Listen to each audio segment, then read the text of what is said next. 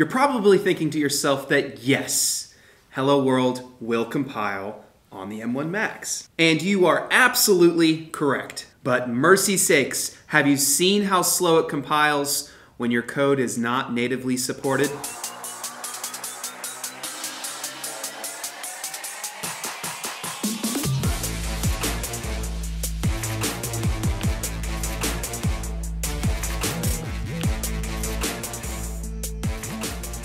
Hey guys, welcome back to DevTech. My name is Bob.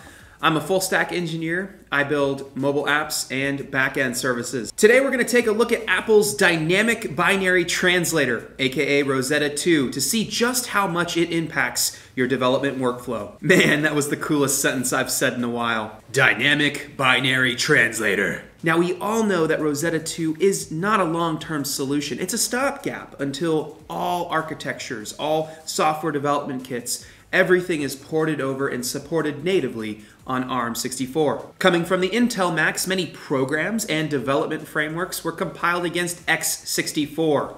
That was Intel's base architecture type for the i5, i7, and i9 MacBook Pros. So if your development environment is not natively supported by these M1s, Rosetta 2 will kick in and convert your x64 instructions to ARM64 instructions. Why should you care though? Well, if you're considering switching to an M1 Mac, then it's really good to check if your development environment works natively on this new architecture type to ensure that you're actually getting the speed benefit of switching. But first, a project update. I'm in the process of tearing down this 60 year old garage and rebuilding it myself. It is so cold out here.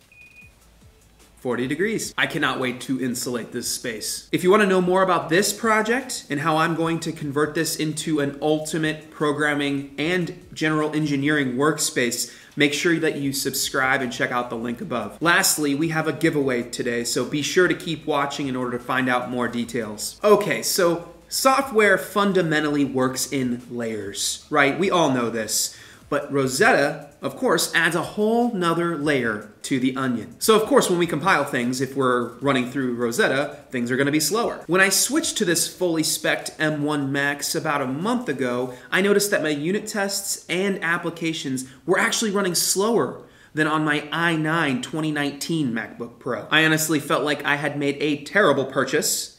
Buyer's remorse set in and definitely knocked me down a notch. Notch joke. I quickly noticed that Kotlin, the programming language I was using at the time, was not natively supported by the JVM I was running at the time. My JVM needed to be native to ARM64. So here are the questions I started to ask myself. How much slower is Rosetta 2 versus native when compiling? How does Rosetta compare to the Intel i9? Before we start answering, let's see how easy it is to set up a JVM on the new M1. First off, and this is optional, if you do get a Mac, make sure you install Alfred. Alfred is a Mac OS Spotlight replacement. It adds a lot of enhancements and customizations, extensions, anything you can possibly think of to Spotlight, which is really nice. So right now I can just open Terminal. Or I can do something even more advanced, like set up a workflow that starts a VPN for me. It's just another way for me to avoid using my mouse and doing everything from my keyboard, all in the name of efficiency. Another one I created, Check Yourself. It launches photo booth before a Zoom call so that I can see what everyone else is going to see before I actually go live. The second thing you may want to consider installing is Oh My ZSH. It is a great theming and extension management utility for your terminal. So you can see here there's a lot of color coding and really nice effects that are going to happen as a result of switching to this. I also get nice um, autocompletes, the abilities to select things. These are just things that will not work out of the box with the default terminal. And the third thing I recommend installing is SDK Man. It is a package manager tool that lets you install and switch to different versions of JVMs. It also manages other packages as well, but today we're going to set it up for managing JVMs. I highly recommend using a package manager like this to manage your JVMs because managing them manually adds a lot of overhead that will complicate your development workflow. So in order to configure Oh My ZSH, you're gonna go to your user profile. So here you can see I'm in users forward slash Bob. I'm going to open VI for ZSHRC. Control F to kind of scroll down a little bit and you can see here that I've got home directory mapped to SDK man's initialization file. This is also where you would add changes to your themes, other paths like for Flutter, Android, Homebrew, anything like that. So let's see what JDKs I can install. I'm gonna type SDK list Java. And that's gonna give me a list of all the JDKs I can install using this package manager. Ah, but this is a catch.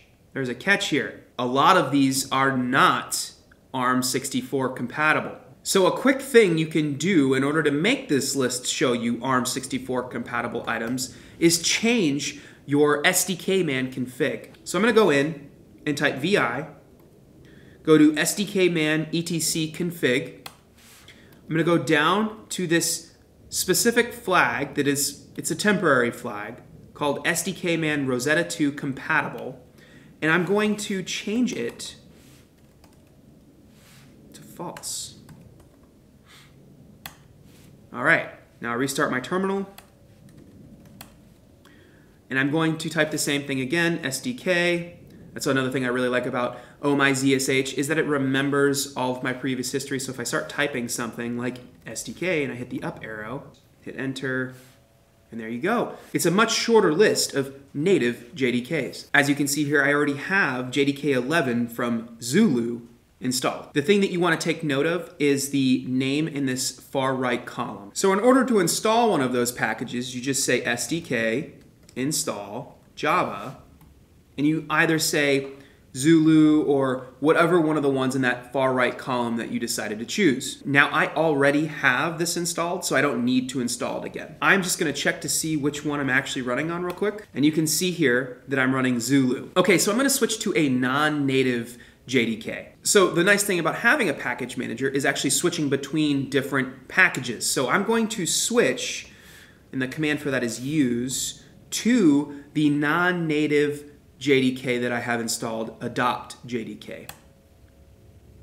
All right, so I wrote a Kotlin program that compiles a Kotlin Hello World program, runs it many sequences, and averages the total time. So let's compile this program and run it on this non-native JDK we just switched to.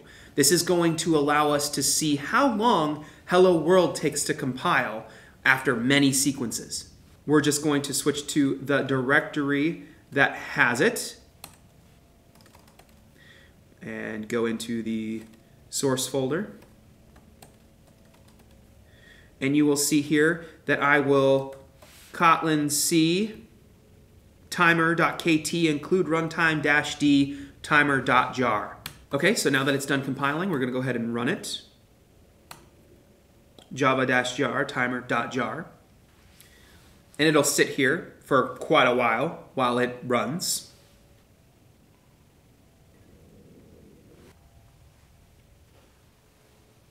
Okay, wow, that took quite a while. All right, so it averaged 9.85 seconds to compile Hello World 20 times on a non-native JDK. So on a non-native JDK, a Kotlin Hello World program will take about 10 seconds to compile. All right, so let's switch to a native JDK and see what happens. SDK, use Java, Zulu.